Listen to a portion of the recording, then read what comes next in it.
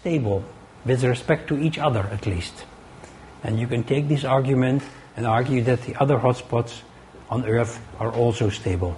They are certainly not completely stable, and over longer geological periods they do move around, but for this purpose they serve us very well. So, hotspot trails can be used to figure out how the plates are moving in this reference frame. And these hotspot analyses fit very well with what we have measured recently with GPS. But keep in mind that with GPS, uh, we measure just the last few seconds if you take uh, the life of the Pacific plate as one day. Also, the plates really move at a rather continuous and maybe only gently varying velocities. This is a diagram showing the distance from Hawaii along this uh, volcanic island chain and the age of the volcanoes. And if you plot these two, then you can fit a very, very good straight line meaning that the plate moves with 10 centimeters a year over this stable hotspot. And look at this here over the past 30 million years, which is quite a significant time, the plates have really moved with a constant velocity. So, until now we talked about plates and we really regarded them as uh, rigid and the boundaries between the plates as something which is sharp, like a, a nut, uh, uh, like a cut with a knife. Um, the rest of this lecture, I will treat plate boundaries as uh, very, very sharp boundaries. But I just want to show you a picture to which we will come back later, showing that the plate boundaries, in fact, are not always completely sharp. So here is uh, a picture of uh, Eastern Europe going to the east of Asia, and these dark areas are zones which are called diffuse plate boundaries. Diffuse plate boundaries. In these areas, for example, the Himalayan chain, it is not possible to put your finger on the plate boundary itself. It is a white zone at which basically the two, two plates deform. It is like a, a deformation zone. So keep in mind, plate boundaries are not always completely sharp. They have a certain width. But in today's lecture, we will treat them as sharp lines to understand the geometry. Okay. Of course, the Earth is more or less a sphere in first approximation, and the plates are on this sphere, which doesn't change its size, or not significantly as we know. And so we have to understand the geometry of motion of plates on a sphere. And uh, the basis of that is um, done using Euler poles.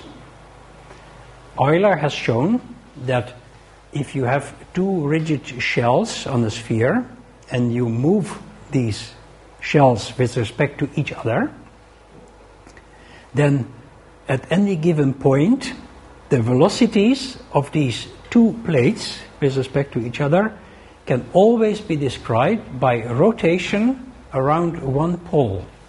And this is called the Euler pole. So, to show it uh, in this diagram, there are two plates on this imaginary planet. So, it's a sphere, first of all, and we have divided the sphere into two plates, just for the purpose of illustration. The plates are called A and B. If the plates are moving with respect to each other, then you can describe this motion by rotation around a common Euler pole. So for these two plates, this is where the Euler pole is. So remember, this is not the North Pole or the magnetic pole of the Earth. This Euler pole can be anywhere on Earth. But the Euler pole is just one of the two numbers that you need to describe plate motions with respect to each other. Okay? So if the Euler pole is here, the only other thing that you have to know to calculate velocities between the plates is the angular velocity. What is angular velocity? It is the rotational velocity around the Euler pole. Okay? And in this equation here, it is expressed as uh, omega, which is radians per year. So, now if I want to calculate at any given point uh, along this, these plate boundaries the velocity, what I have to put in is the radius of the sphere, the sinus of the distance between the Euler pole and the position in angles, in, in radians. And this is the angular velocity. And with this formula, now I can go anywhere along these plate boundaries, for example, at this point or this point or this point, and I can calculate the local velocity of the two plates with respect to each other. And you can see that uh, uh if uh, in, in this case the velocity here is, is small and then it increases because you go away from the Euler pole, so the plates are moving apart faster and faster and then it will decrease again until you go to the other Euler pole. Here there is a divergent movement, and on the other side there is a convergent movement. The plate boundaries which are divergent have ridges and also the so called fracture zones. And these are very interesting features um, I will make a drawing for you. So this is how these divergent plane boundary, plate boundaries look like. These are the ridges.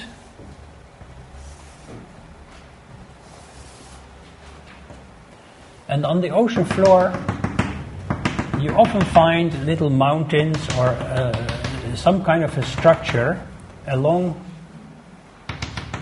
these fracture zones. Okay, so here is a ridge.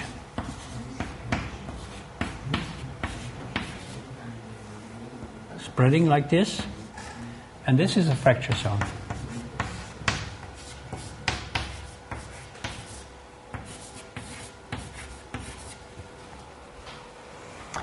The interesting thing is that there are quite long lineaments on the ocean floor called the, the fracture zones but if you measure the seismic activity, then you will only find earthquakes here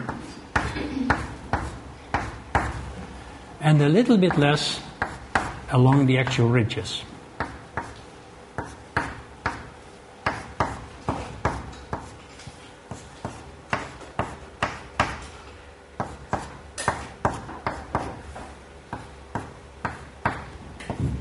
These are the seismically active parts of the fracture zones. Here, there are no earthquakes at all. And the explanations of these uh, fracture zones has, has been one of the very important breakthroughs in plate tectonics. Of course, what is happening is that these fracture zones connect these segments of the ridges, and there is a motion this way. So this is a dextral strike slip motion.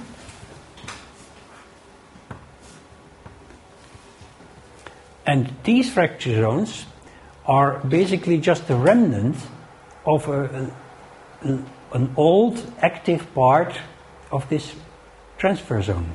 Okay, so here there is no motion at all.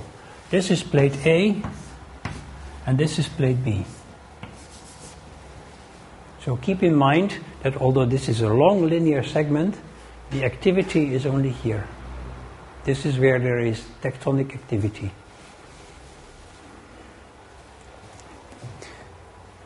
So, in the famous book of Cox and Hart, it is shown like this. These are the fracture zones, and these parts are the seismically active zones. Now, if you go back to here, in the previous picture, you can see these lines, which are the fracture zones.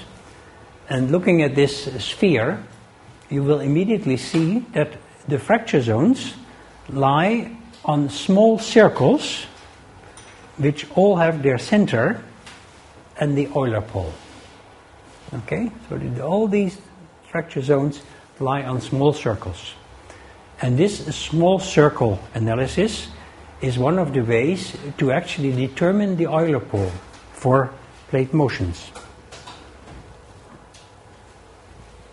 And this has been done for quite a lot of fracture zones in the Atlantic.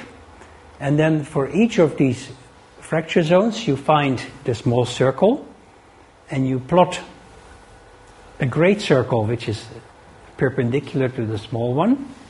And they all intersect in a small region and this small region is where the Euler pole is for these two plates. Okay?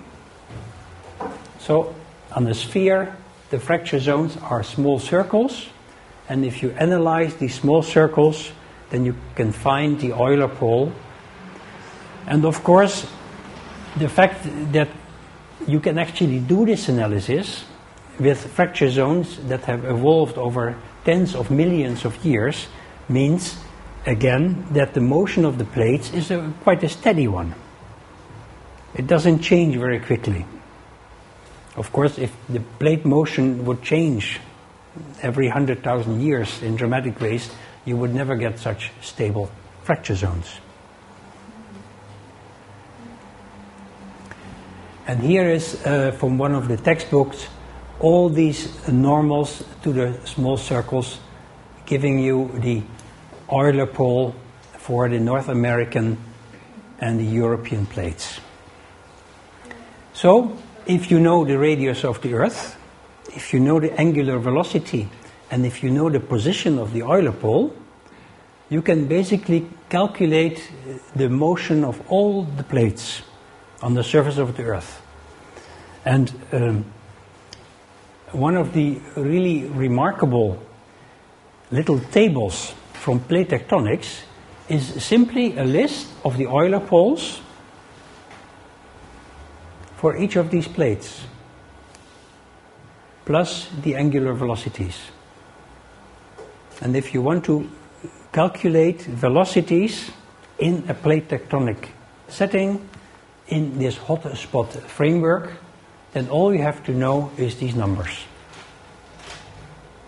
And then if you know where you are in relation to that particular Euler pole, then you can figure out the velocities of the plate. So this is really a very, very powerful little table.